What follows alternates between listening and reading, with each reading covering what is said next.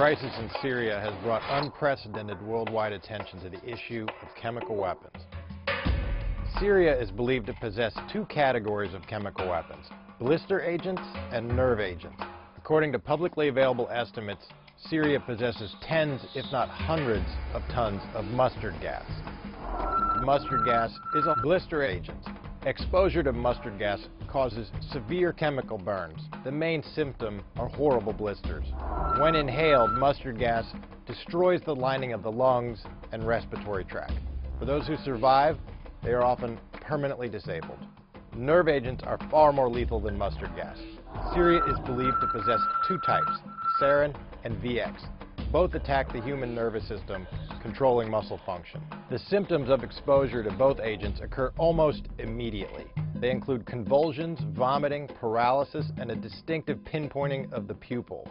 Death usually occurs from suffocation due to lung paralysis. Half a milligram of sarin is enough to kill a grown man within minutes. If it is true that Syria has more than 100 tons of sarin, this is enough to kill 50 million people.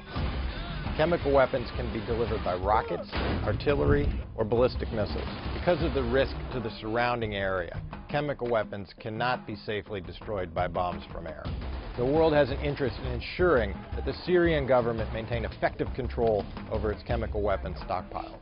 The possibility that these weapons will fall into terrorist hands cannot be ruled out, especially in the context of a collapse of the Assad regime.